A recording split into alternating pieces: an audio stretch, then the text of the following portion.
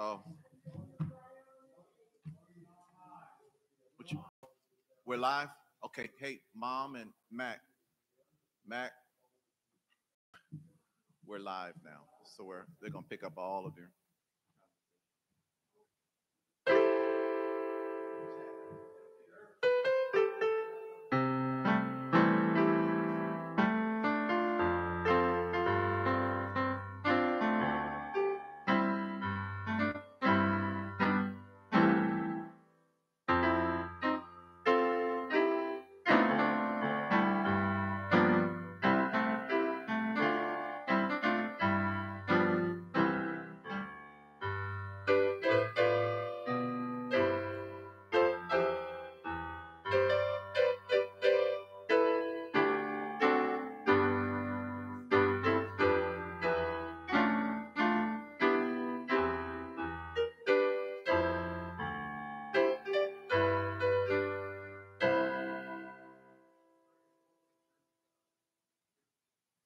Uh,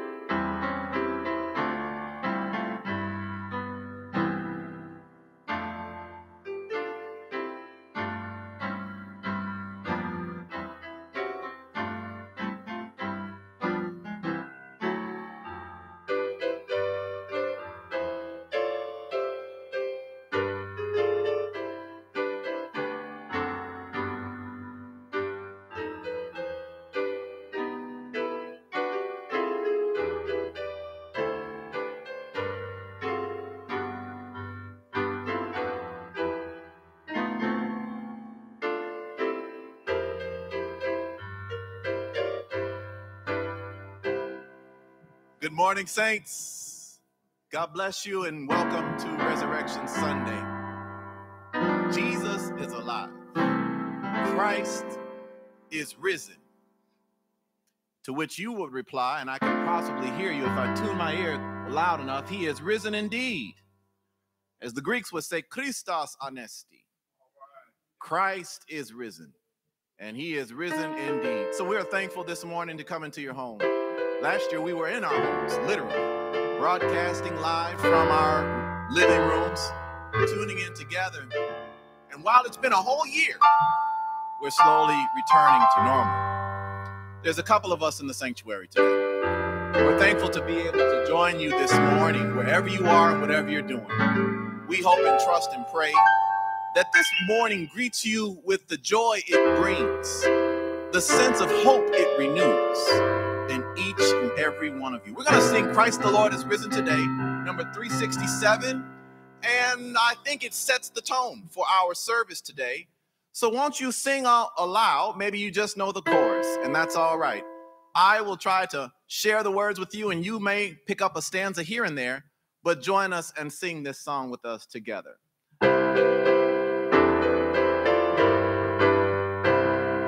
Christ the Lord is risen today. Alleluia. Sons of men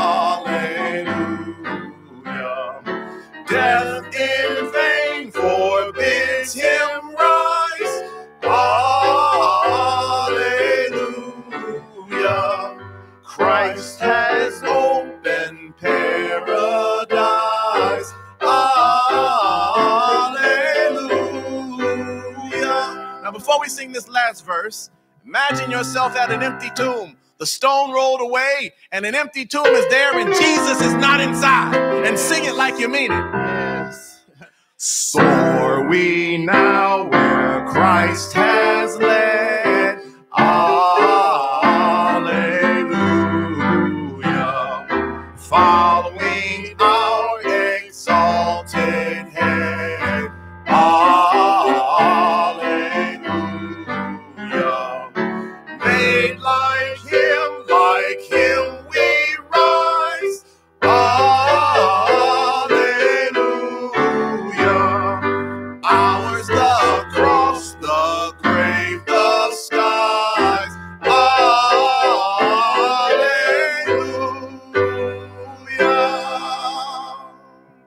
Hallelujah. That is our prayer. Hallelujah. And we're thankful this morning. We're going to sing again. We're going to continue on in that same.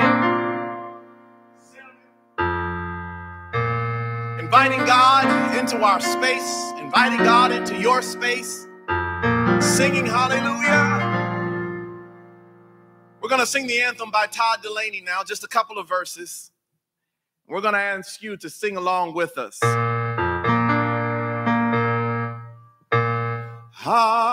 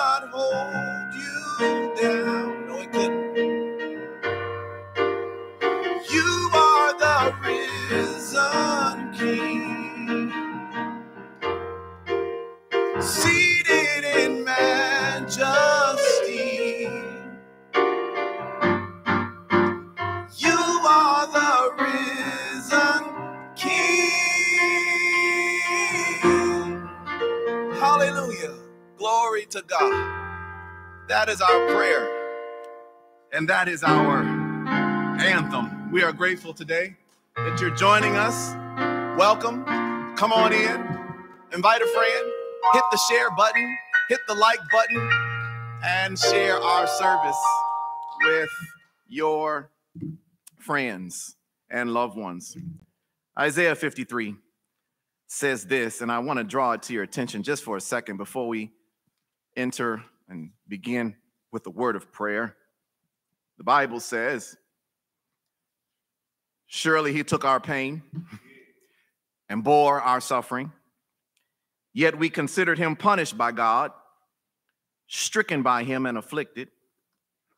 But he was pierced for our transgressions, make it personal, Ernest's transgressions.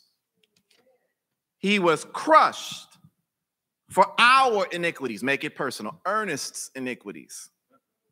The punishment that brought us peace was on him, and by his wounds we are healed. For those of you that may not know, this text is talking about Jesus. And we're grateful today that the fulfillment of Isaiah 53 was carried out on Calvary's Hill. But death couldn't hold him down, and he's alive and well. The word of the Lord for the people of God, would you pray with me.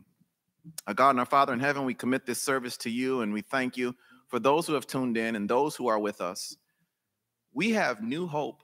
We have new life in Jesus on account of his resurrection from among the dead. Oh, God, we are thankful this morning. And we commit this service to you now in the mighty name of Jesus that you do what you see fit, oh God. Have your way in our hearts and in this place in Jesus' name. Amen. Pastor Delario is coming to take us further. Amen. Amen.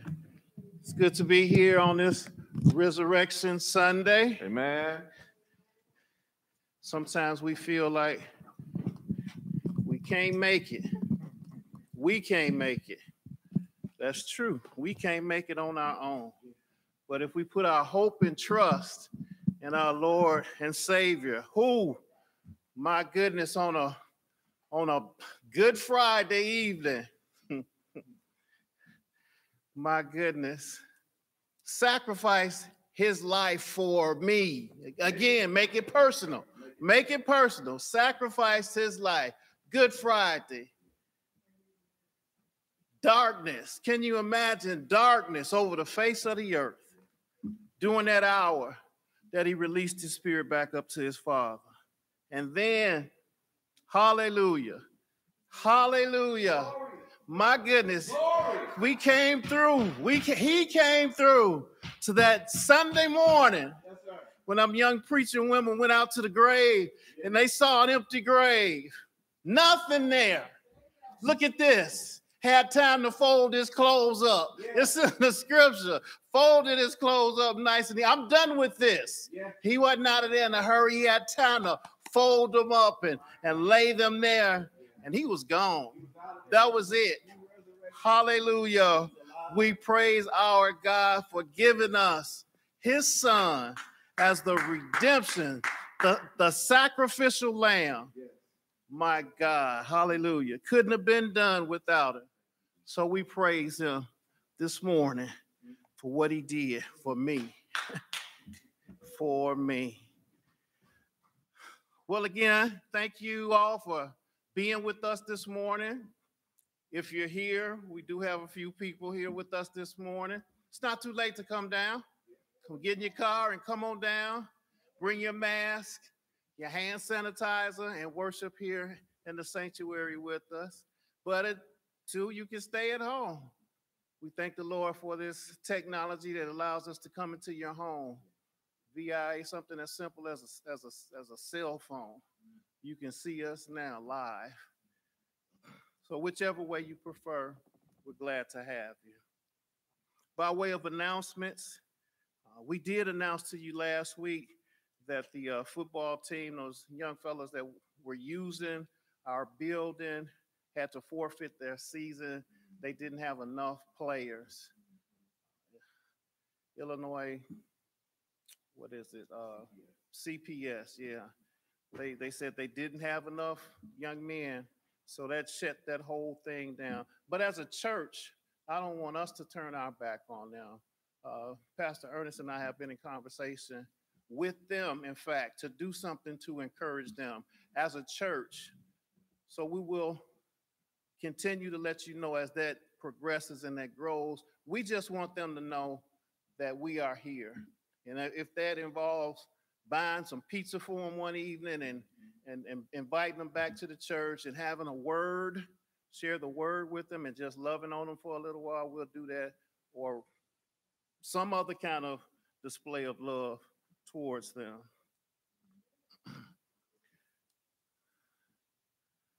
I want to welcome some of our out of town uh, regulars. I know uh, Dan and Michelle Fogelson, who have been joining us in the Bible study, are probably out there. And welcome in Albert Knox, one of uh, another one of our previous members who has been tuning in, joining in the Bible study. Uh, we just want to welcome you and whoever else, first timers. Mary Ann Bell, that's right, all the way from the West Coast. We welcome her also. So many others are out there. I couldn't name them all. But we thank the Lord again for this technology that allows us to do that.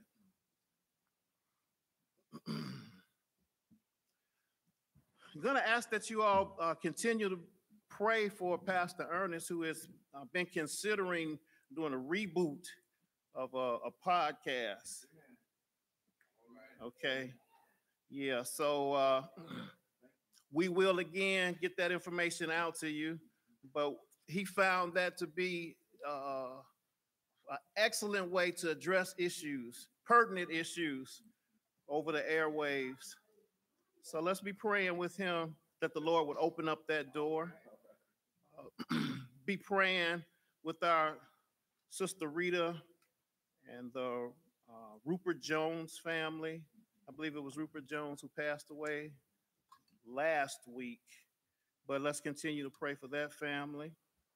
And I mentioned Albert once. Albert mentioned to me that uh, he would ask that the church be praying for his youngest son, Jeremiah, who has been in uh well, he's he's homeless actually. No other way to say it. He's homeless and just going through some issues as a as a homeless young man. Some serious issues that need to be be addressed in therapy. So let's be praying for Jeremiah. Uh, thank the Lord for Iris returning home from the hospital. Got an opportunity to speak to her just yesterday. She's doing better, uh, learning to adjust to a new life that she has to do dialysis three times a week. So she'll be there for three hours, three times a week. And uh, she says she's trying to figure out what to do with her time there. You know, you go in, I understand that when I do an infusion and I go in every several weeks and, and, and I'm sitting there and I'm trying to figure out what am I going to do with this time? And you figure you're going to read, you know, you're going to get caught up in your studies in the word. But most times, you know what you do? You fall asleep. you fall asleep. So let's be praying with her as she adjusts her schedule. This is her life now and how she can be productive. And I know that's what she wants to do as she's there doing that uh, dialysis.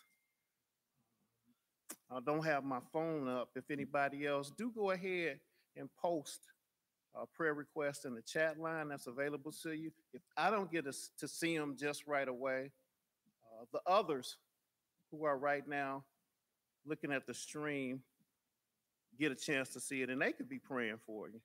Don't have to be me alone praying. Let's pray for each other. Let's hold each other up. And that's what this is all about. Can't think of anything else right now.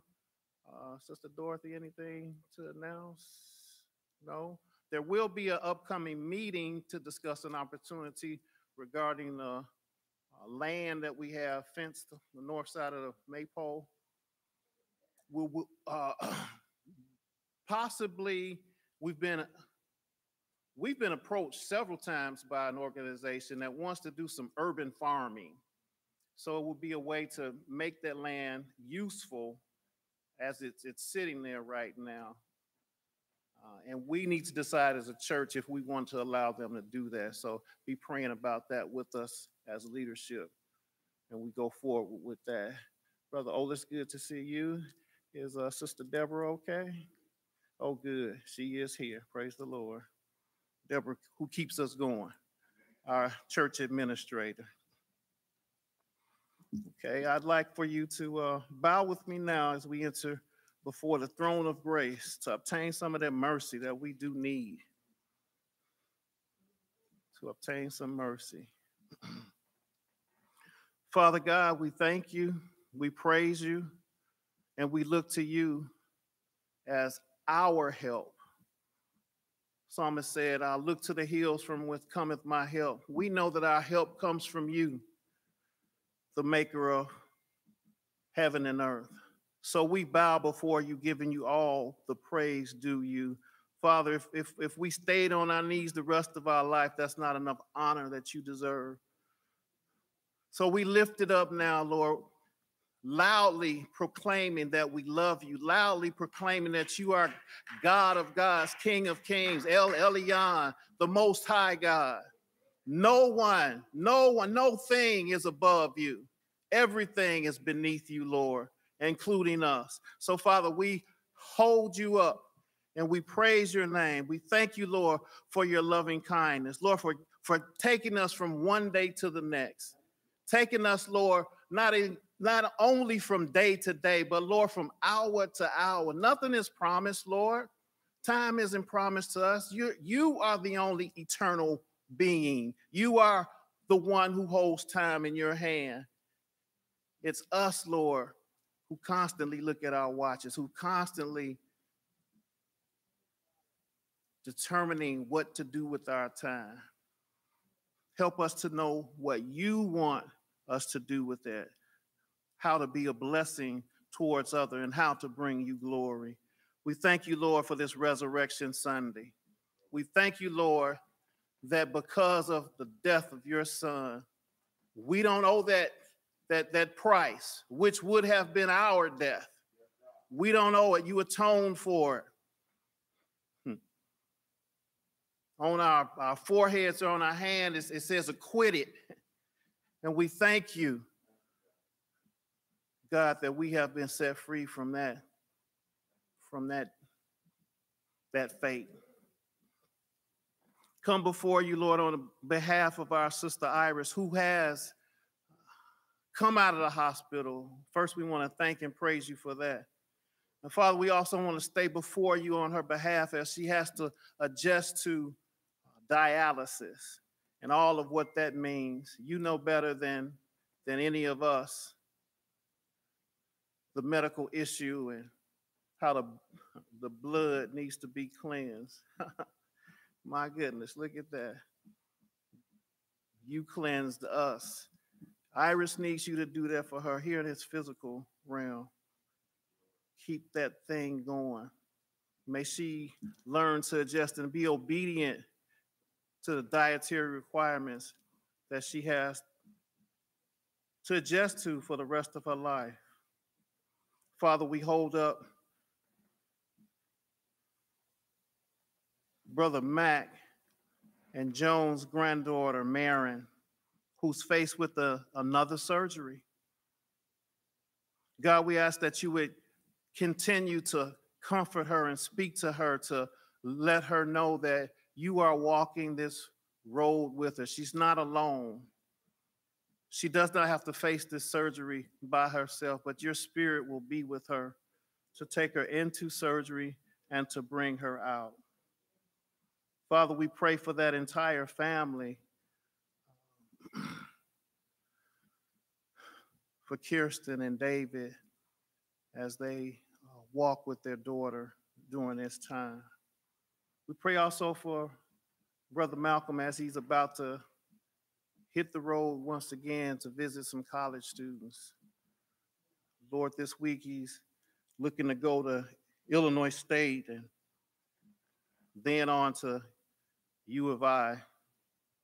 Pray for that time even now that you would bring out those students who he should have those personal interactions with. May you be glorified in those interactions. May the students draw encouragement from the visit and time with Mac. Father, we pray for traveling mercies as he's out on the road, going to and from these two uh, universities. I want to pray also for one of our personal friends, Marie Yonkers, and her son in laws, Lord. She often brings them up in Bible study. I want to pray particularly for uh, Mike, who's been looking for a job over a year now. It's a long time to be without a job, but Lord, it shows your faithfulness to that family, how you've continued to provide over a year without having gainful employment. We thank you for taking care of the family. Father, we thank you for keeping them safe. We thank you, Lord, for providing for their needs, just like you've provided for all of our needs. It's just a blessing to be before you today. God, we also pray for uh, just Sister Rita. I know she's been having some, some aches and pains. So we hold her up before you this morning also, asking that you would minister to her body as we are all aging and becoming more familiar with what that means in the body. Encourage her we thank you, Lord, for her ministry throughout the years here at Keystone. It's been a blessing to us. Father, so many things to be grateful for. So many things to be grateful for. So we pause again to, to acknowledge that all of our blessings come from you. We ask your blessing over this service today. Be with Pastor as he brings the word today use him as a vehicle, Lord, to speak your word. May it be, as you say, sharper than a two edged sword, that it might cut and divide between joint and soul, uh, bone and marrow.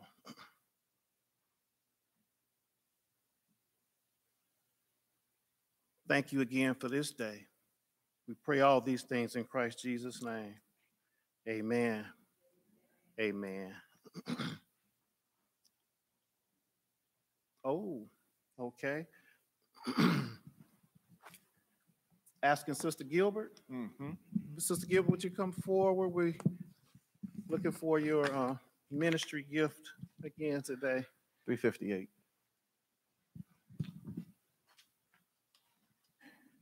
It's in the songbook 358. Because he lives. Oh, yes. Would you join us there? Hymn number 358. Come on. Just to lead the song. Mm-hmm. We singing with you. Yes, please.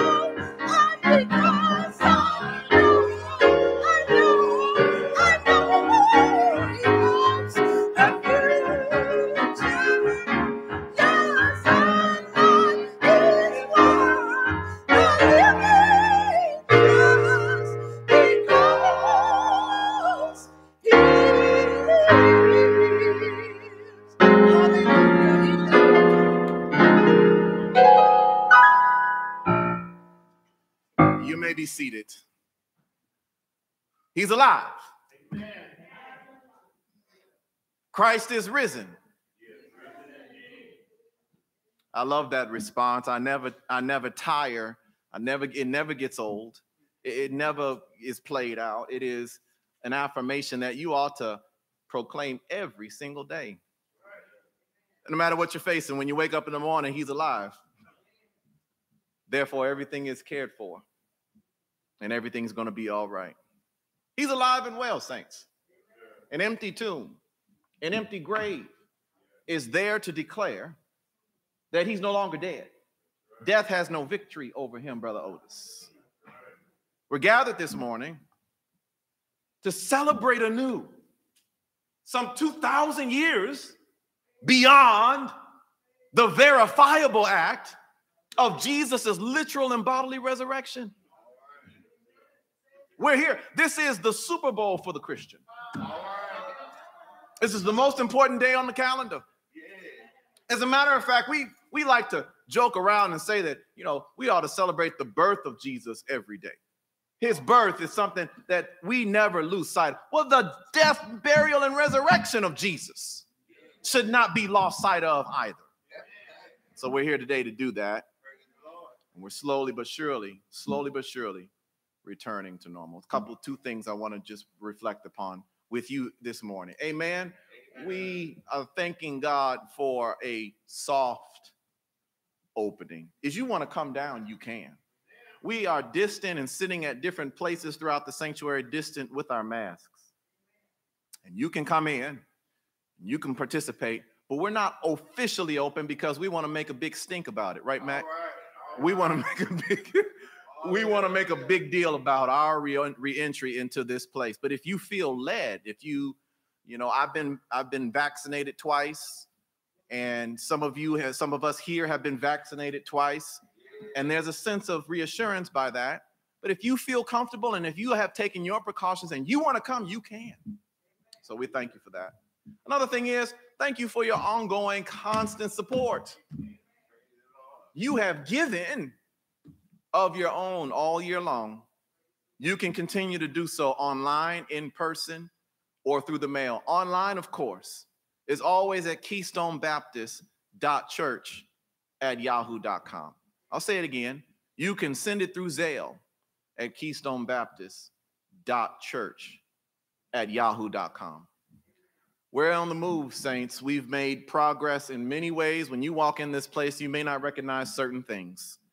We've made changes to our building to enhance its safety. We've made changes to our building to enhance our media. We're making changes all the time in order to prepare for what God is calling us to. So be, so be praying. Pastor Delario and I are just ecstatic to see what God is doing. Hmm. And not just aesthetic changes to the building, but expanding our reach too. Well, good is a building if it has no hmm. occupants. All right. You'll get that. Some of you. what good is a building if it has no occupants and people to utilize this beautiful space. I'm done sharing. It is an important thing. I want to get to the word, so won't you pray with me? Father, you're wonderful. My God, you are wonderful. Today, we have great joy. We may have faced incredible challenges all week long. We have been bombarded by bad news all the time. But God, we we know the difference between looking at our world and looking at it without hope. We have hope because Jesus has been resurrected from among the dead. And God, we come this morning to proclaim your living forevermore. We will follow you one day. We will be with you forever because you have set you have paved the way for us to access eternity. We thank you this morning for those that are both viewing and those that are in person, for those that have gathered and those that are gathered around the screen. And Father, I pray that you would be with me this morning. An empty tomb proclaims itself, but there are words in scripture that that that could that I will elaborate upon in a few moments. Would you give me help, please? would you provide me with a reasonable portion of your strength? Anoint these words, use them, Father, to reach into the hearts and minds of those in attendance and those listening, so that God, you may save somebody. Today would be a great day for salvation. Today would be a wonderful day to receive Jesus Christ. So we commit this time to you now. I ask that you stand in my body, think with my mind, and utilize my speech to render me an oracle for Jesus Christ, that I may tell the truth, the whole truth, and nothing but the truth regarding you and your word.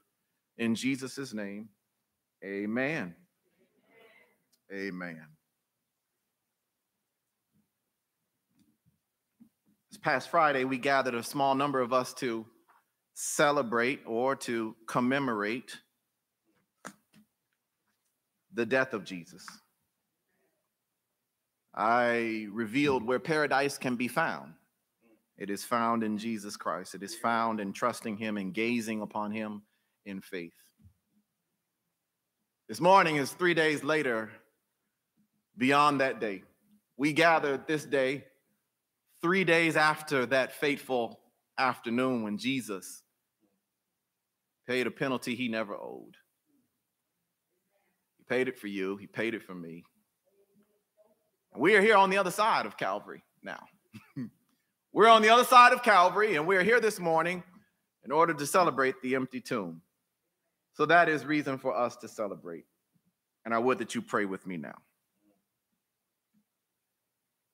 If you if you if you have ever studied law, you probably know that a person must be tried and found guilty beyond a reasonable doubt before he or she can be convicted of a crime. You might have heard it at the introduction of the most recent high profile case on online right now. Reasonable doubt. What you may not realize exactly, however, is what's required to prove guilt. What constitutes reasonable doubt? To put it simply, the evidence must be so convincing that no reasonable person would ever question the defendant's guilt. It is not enough to believe he or she is guilty or to think the person is probably committed an offense. It does not mean, however, that the prosecution must eliminate all doubt. Rather, it means that after all the facts have been considered, the logical conclusion must be that the person is indeed guilty. Some unreasonable, unreasonable doubt may still exist. There was a man in the scriptures, or one of the 12, who was notorious for doubting. They called him Didymus. His name meant twin.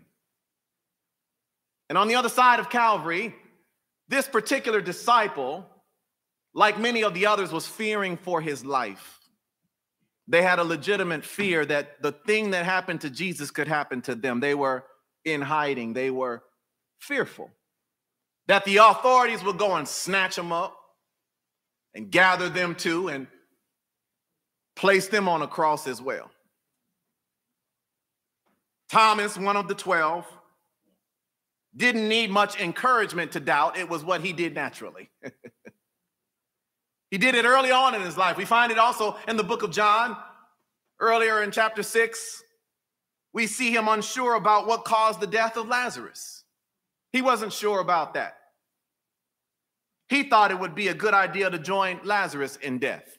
That was earlier on in the Gospel of John. Another, in another instance, poor Thomas struggled to wrap his mind around the knowability of God. God can't be known. How could you know God? I doubt you can know God.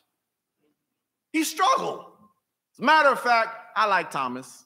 I like Thomas because I have my own doubts. Maybe you do too. Maybe, maybe you have your own doubts that you struggle with as well. In his mind, God is hidden from us, and knowing him is an exercise in futility. How can you, quote unquote, really know God? Can you really know God? Needless to say, Thomas was a candidate for a new way to look at life and his Savior.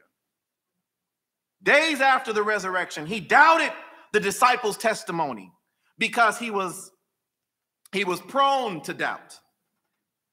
Needless to say, he did a he did learn a very valuable lesson, however.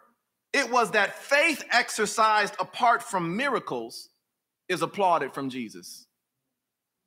And that that Thomas could put doubt to death after seeing the resurrected Messiah. If you have your Bibles, won't you turn with me to John chapter 20 and the latter part of chapter 20 verse 24. We'll get there in a moment. Put your finger there as I continue to ask you a few questions. If you've ever struggled with doubt, perhaps you've doubted your ability to discern God's love for you. If that's who you are today, if you've ever questioned who God is and his absolute crazy, reckless love that he has for you, then this message is for you as well. On this side of Calvary, John teaches us a very valuable lesson through the disciple Thomas in order to prove the veracity of Jesus' resurrection and to put to bed any notions of the contrary. John chapter 20, verse 24 says this Now, Thomas, also known as Didymus, twin, one of the 12, was not with the disciples when Jesus came. So the other disciples told him, We have seen the Lord. But he said to them, Unless I see the nail marks in his hand and put my fingers where the nails were and put my hand in his side, I'm not going to believe. A week later, his disciples were in the house again, and Thomas was with them. And though all the doors were locked, Jesus came and stood among them, said, Peace be with you. And then he said to Thomas, Put your fingers here. See my hands. Re- reach out your hand and put it into my side. Stop your doubting and believe. Thomas said to him, My Lord and my God. And then Jesus said to him, Because you've seen me, you have believed. Blessed are those who have not seen me and yet have believed. I'd like to tag this text beyond a reasonable doubt. Beyond a reasonable doubt. A faith exhibited without the miraculous is what Jesus applauds. He loves everyday believers who, apart from seeing him, put their faith in him. And this morning, I want to challenge you to put your faith in the, in the truth of Jesus' resurrection from the dead. When we think about our time and our text today, it invites us to number one, relinquish our reluctance, to let go of our doubt. Over the last 400 years, human beings have sought to an excuse to not believe in God. In my study, I've seen it. I've seen that over the last four, 400, 500 years or so, human beings have felt as though they are graduating from this book, that they are beyond the truth contained therein. And, and, and then over this, this particular time period, many would suggest that they just don't see God working in their world, or perhaps they pose the perennial question of which we have always asked if God exists, why does he allow evil? If God exists, why did he allow a pandemic? If God exists, why is George Floyd dead, Tamir Rice dead, Eric Garner dead? Why, why is it that wars break out in Syria? Why is it, God, that you allow evil things to happen? That's their convenient excuse to say he doesn't exist. Questions like these continue to arise in our day, perhaps even more in the wake of catastrophic devastation, mass killings that happen every week, suicide bombings, drug war shootouts, gang wars, senseless killings in K Town. People, how can God be good when He allows things like this to happen? They say. I didn't come here to talk about this, so, so breathe a sigh of relief. Suffice it to say that God allows evil and unconscionable things to happen every day, and it does not diminish His goodness. They're Not in the slightest bit. I say all this because if there was a person who embodied a spirit of skepticism, who, if he were alive today, would fit right in with our society, it would be Thomas. Thomas, who we have interacted with on two occasions in chapter 11, verse 25, and in chapter 14, verse 6, shows us what it is like to lack a deep, no holds barred faith in Jesus. That's saying a lot because consider who he is. He was one who could have written the song here, and he walks with me and talks with me along life's narrow ways. He walked with Jesus. He talked with him. He dapped Jesus. He ate food with Jesus. He saw Jesus give sight to blind folk. He saw Jesus raise the dead. He's seen the experiences of Jesus firsthand. And if anyone was supposed to have a rock solid faith in Christ, it should have been him, right? What Thomas shows us is that you can have an encounter with God that goes unexplainable. You might have survived a crash that others can't comprehend how you did. You might have been cured from cancer without any explanation of all. You may have been exonerated from a charge that you knew was aimed to put you in jail for the rest of your life. You might have been on the receiving end of the most unexplainable yet unmistakable kindness of a God, and it is possible that you still need further proof that God is able to do the impossible. You from Missouri. You're from the show me state. He's gone the extra mile to prove his love for you.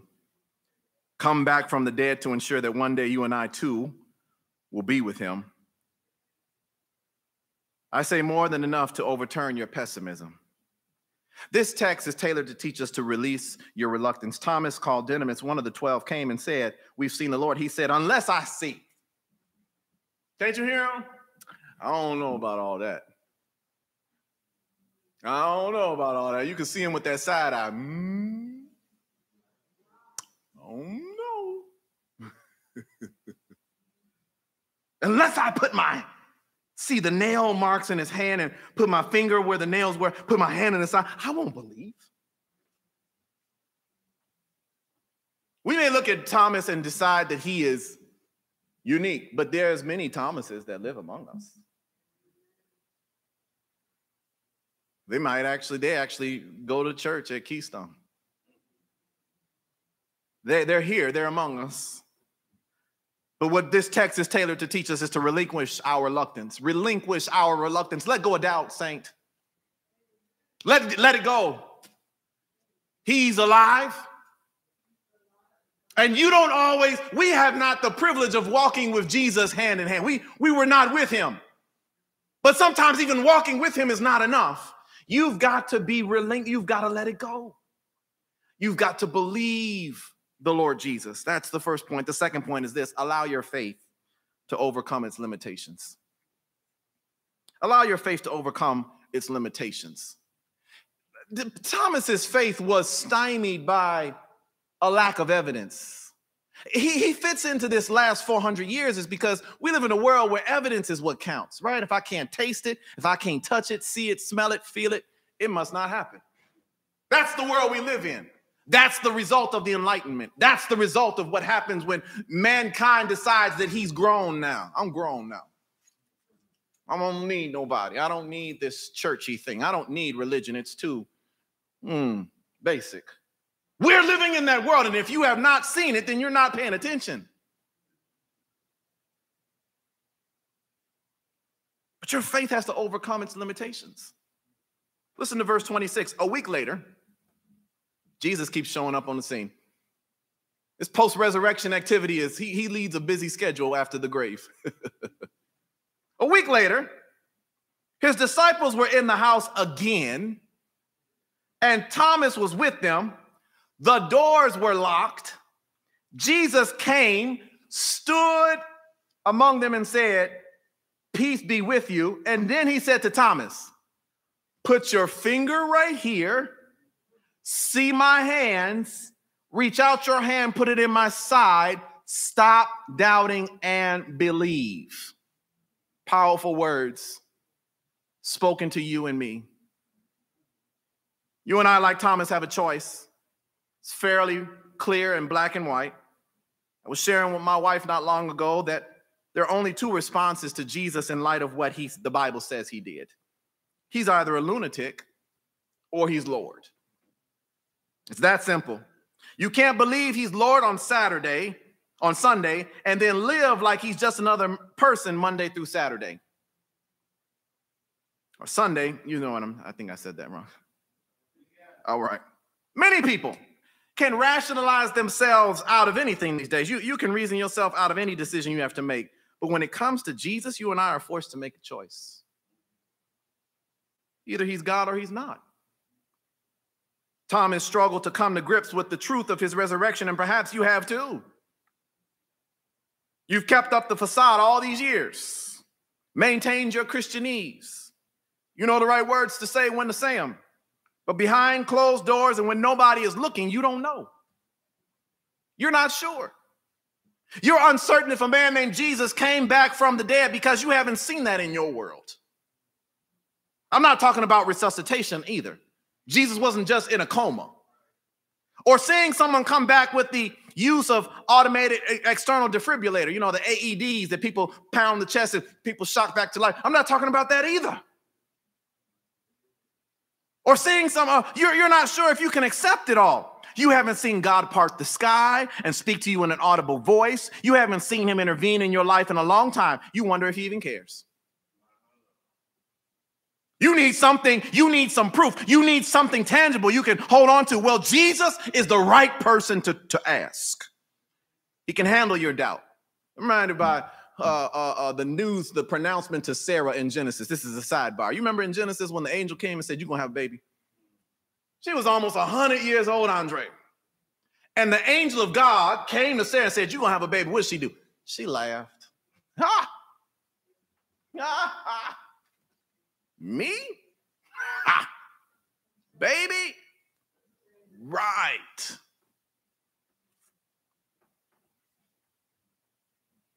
Jesus is the right person. He can handle your doubt. Jesus can handle it. And that's the thing I want to encourage us all to do is to don't confine your thoughts of God to some limitations on what you can understand.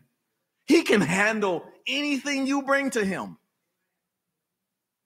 He can show up in your life. The Lord is not deterred by locked doors. He comes in this room and says peace to them in a, in a room that was that, that had no doors that was open. He just shows up. Don't think he can't get access to you, child of God. The Bible says, Behold, I stand at the door and knock. And if anyone hears my voice and opens the door, I will come in and eat with that person and they with me. Therefore, it is our responsibility to overcome faithlessness. It's required of us to put aside our reluctance and to believe and open the door. Two lawyers in England and the great triumph of deism deism is the belief that everything is God. This pulpit is God. These flowers are God. That this microphone is God. This book is God. You're God. Deism is the belief that everything is God.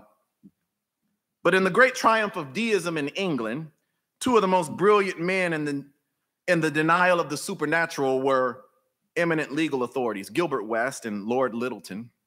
The two men were put forward to crush the defenders of the supernatural in the Bible. They had a conference together. And one of them said to the other that it would be difficult to maintain their position unless they disposed of two of the alleged bulwarks of Christianity. Who? Saul of Tarsus and Jesus the Christ. They made it their goal in life to discredit that Saul was converted to Paul and that Jesus was the Messiah. Lyttelton undertook to write a book to show that Saul of Tarsus was never converted and is recorded as is recorded in the Acts of the Apostles, but that his alleged conversion was a myth. Lyttelton was to write the other book alleging that the resurrection of Jesus from the dead was a myth. West said to Lyttelton, I shall have to depend upon you for my facts, for I'm somewhat rusty on the Bible. To which Lyttelton replied that he was counting upon West, for he too was somewhat rusty on the Bible. And one of them said to the other, Well, if, if, we're, if we're to be honest in the matter, we, we ought to at least study the evidence. And this is what they did. They had numerous conferences together. They met together. They talked together. They worked together. They were preparing their works. And in one of these conferences, West said to Lyttelton that there had been something on his mind for some time that he had thought to speak to him about, that as he had been studying the evidence, he was beginning to feel that there was something in it. Lyttelton replied that he was glad to hear him say so, for he himself had been somewhat shaken as he had studied the evidence of the conversion of Saul of Tarsus. Finally, when the books were finished, the two men met. West said to Lyttelton, Have you written your book? Replied that he had, but he said, West, I have been studying the evidence and weighing it according to the recognized laws of legal evidence. And I become satisfied that Saul of Tarsus was converted, as is stated in the Acts of the Apostles, and that Christianity is true and I have written my book on that side. The book can be found today in any first class library. Have you written your book, said Lyttelton? Yes, but I, as I have studied the evidence for the resurrection of Jesus Christ from the dead and have it according to the acknowledged laws of evidence, I have become satisfied that Jesus really rose from the dead as recorded in the Gospels. You can't mess with this book, Saint. You cannot mess with this book. You could be Lee Strobel, an atheist writing for the Chicago Sun-Times. You could be C.S. Lewis, an atheist who did not want to touch the word of God, but you can't mess with this book and not be converted. You can't mess with it. Don't play with it. You can't interact with his word. You can't come around his people. You can't pray to God on a regular basis and not have your faith overcome its hangups. Jesus is alive and the verdict is in, or as Maury would say, the results are in. With regard to the resurrection of Jesus and the claims of the gospel witness, they are credible. Jesus has been resurrected from the dead and he's physically alive and well. There's a couple of things I want you to know from this text and to prove beyond a reasonable doubt that Jesus is alive and well. Number one is this relinquish your reluctance, let it go. Put your doubt to bed, put it to rest. Number two, allow your faith to overcome its limitations. I didn't say get rid of them, but your faith can overcome them. Here's the third thing I want you to know, and I'll be seated. Respond with a personal confession of faith. Look at verse 28. Thomas said, he put his hand in his thing in his he put his fingers in his hand and his hand in his side, and he said, My Lord and my God. When you release your reluctance, believe that Jesus is alive. When you move your faith beyond to reach it beyond its limits, when you realize the gracious condescension condescension of the resurrected one who will not be hindered or put off by human demands, you will find yourself with a wonderful confession. I love what Thomas says here because though he gets what he asks for and cries out, My Lord and my God, I hear his words in a completely different fashion. For I hear Thomas saying, My Lord, my God. He's made a believer out of me. I don't know who or what it will take for you to cry out like this, but if you're going to see God face to face one day, you're going to have to confess your belief in him. For some time it takes some for some people it takes a lifetime. For others it doesn't take too much. For me it took a fight at Morehouse College followed by a flight back to Chicago. Whatever it is that God needs to do to prove himself to you, he can orchestrate the, necess- the necessary evidence. He can arrange the variables. He can manipulate your schedule. he can get you to cry out a confession toward him in faith. And he does so because he's God. And no sustained interaction with the Lord Jesus will cause you to walk away with doubt. This Thomas episode is a gift to modern cynics. It allows one to evaluate all the evidence about Jesus and move from suspicion to faith. We're quick to cry out at the top of our lungs our allegiance to the Bears, our allegiance to our college team, our allegiance to our family, our allegiance to, you know, anything that's out there. However, none of our alliances will prove will provide us with access to glory. But allegiance to Jesus will. None of uh, none will ensure that we will make it to heaven, but Jesus will. I said allegiance to Jesus with a personal confession will ensure that we ain't serving God because it's cute or something other than what God wants us to get out of it. No, we respond to the work of Jesus when we view his nail scarred hands and his side and his feet. Jesus made a believer out of me. I'm done. Let me get this last point and I'll sit down. Realize the value of your response. Verse 29. Because you've seen me, you believe. Blessed are those who have seen and yet have, have not seen and yet have believed. He says something, if you read too fast, you might miss it. He says, Thomas, I'm gonna say it like to you. he said, bro, you it took all of that for you to believe me. For real? It, it took all of that. You needed all of that just to believe me? Really?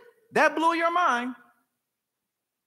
Well, allow me to take this opportunity to relay an even better way to respond in faith. I have had a long log of ambition in teaching a book of John, and I thank God for it. But as one rabbi said, the proselyte is dearer to God than all the Israelites who stood by Mount Sinai. For if all the Israelites had not seen the thunder, and the flames and the lightning and the quaking mountain and the sound of the trumpet, they would not accepted the law and taken upon themselves the kingdom of God. Yet this man has seen none of these things, and yet comes and gives himself to God and takes upon himself the yoke of the kingdom of God. Is there anyone dearer than this man? It is not true religion that later generations of Christians who have seen neither the empty tomb nor the risen Christ are of a lower order Jesus himself pronounces them blessed. You've got to know you sit in a privileged position, saint. We weren't physically there when he turned water to wine. We weren't there when he healed the official son, weren't there when he healed a man sick of 38 years, when he fed 5,000, when he gave sight to the blind, when he raised a dead Lazarus, when he we weren't there when he was led down the Via Dolorosa. We weren't there when they tried him for blasphemy.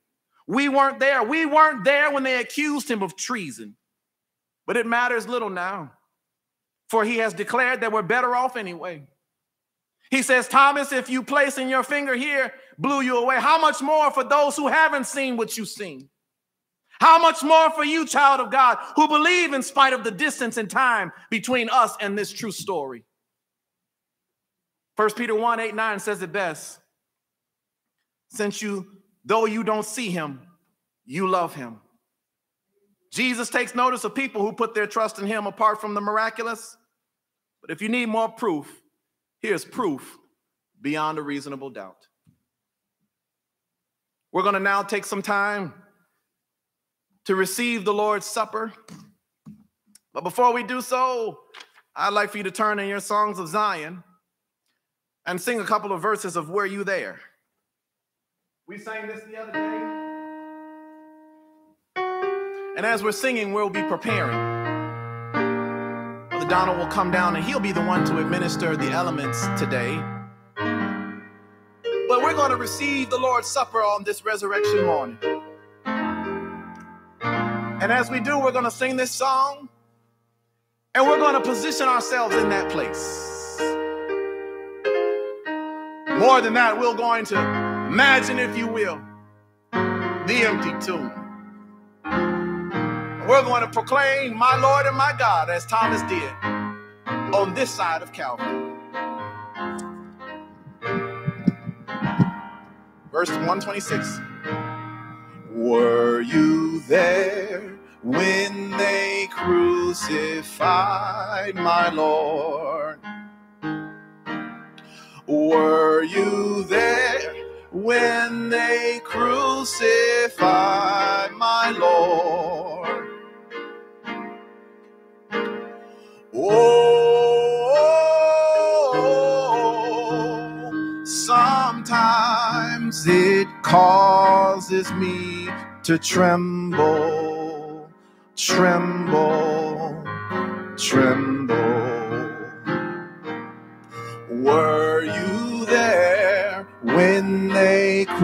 Crucified my Lord? Verse 2 Were you there when they nailed him to the tree? Were you there when they nailed him to the tree?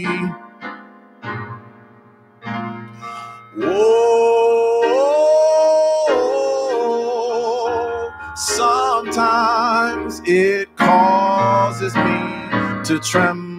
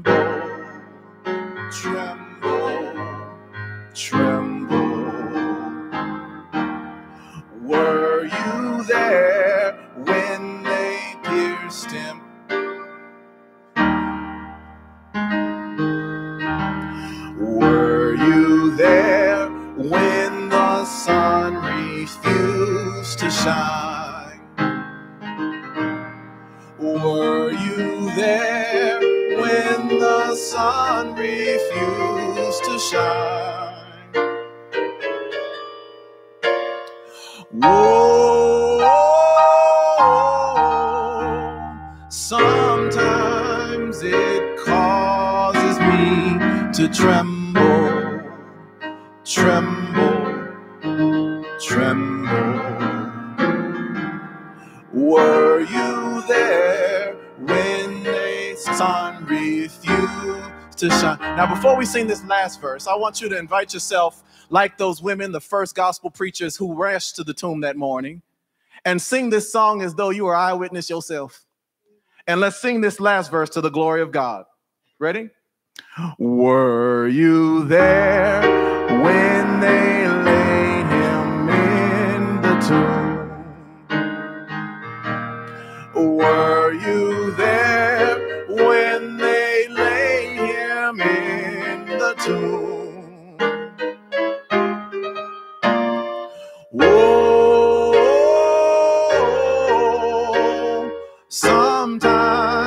it causes me to tremble, tremble, tremble. Were you there when they laid him in the tomb? We got one more verse. I'm gonna make this up myself. Were you there when he got up out the grave? Were you there when he got up out the grave? Were you there? Were you there when he got up out the grave? Hallelujah. Were you there? Whoa. Sometimes it causes me to tremble. Shout, to shout. Hallelujah. Tremble. Were you there when he got up out the grave? Hallelujah. We come to this table again. We come to this table on the resur- on resurrection morning, rejoicing, full of joy at the finished work of Calvary. He completed the mission of God. He did it.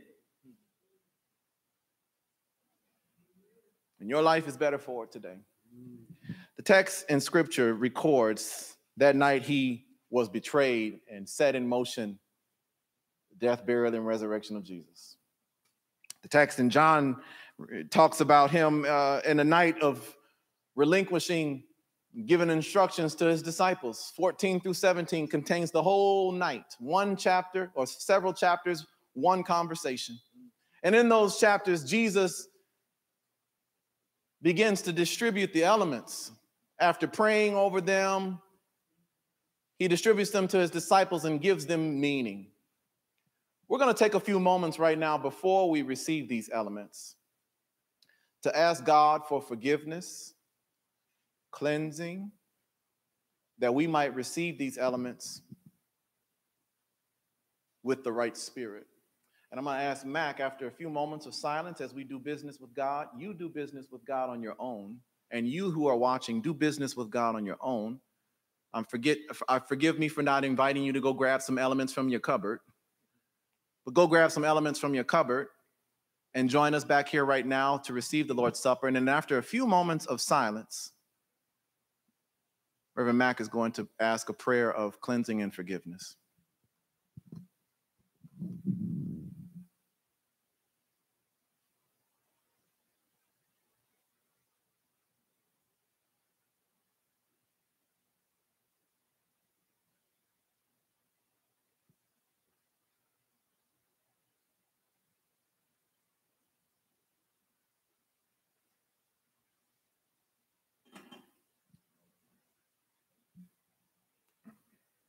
Lord Jesus, we come before you as holy and we worship, adore you, but seeing your holiness, your righteousness, and your mercy on us, we ask you to forgive our sin. We ask you to forgive the shallowness of our faith when we're tested so many times comes short. And we ask you today, one more time, to forgive us, stepping into a stronger position of trust because you have touched us today. So we're ready now to remember what you have done and to touch you through these elements in a way just actively remembering your presence now because of what you did then. In Jesus' name, amen. On that fateful night when Jesus was betrayed, with his disciples flanking him, he took he took the bread and he broke it and he gave it to them. And he said, This bread represents my body, which will which would be broken for them, which is broken for you. Shall we receive the Lord's body, the Lord's broken? Shall we remember the Lord and his broken body in this way together?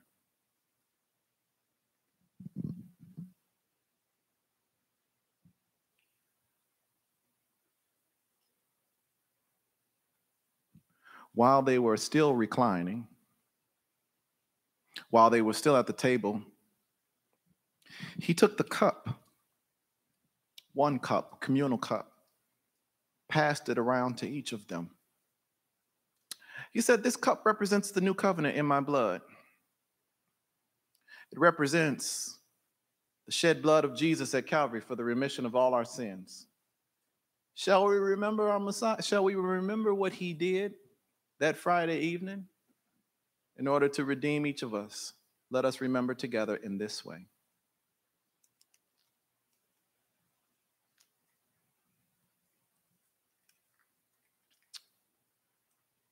Praise the Lord.